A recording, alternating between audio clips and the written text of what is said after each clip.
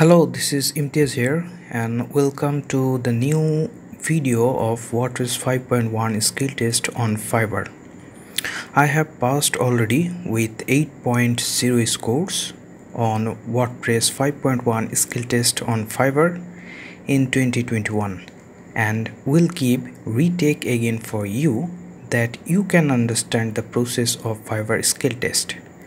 This video is only for educational purpose. So let's start WordPress 5.1 skill test on Fiverr in 2021.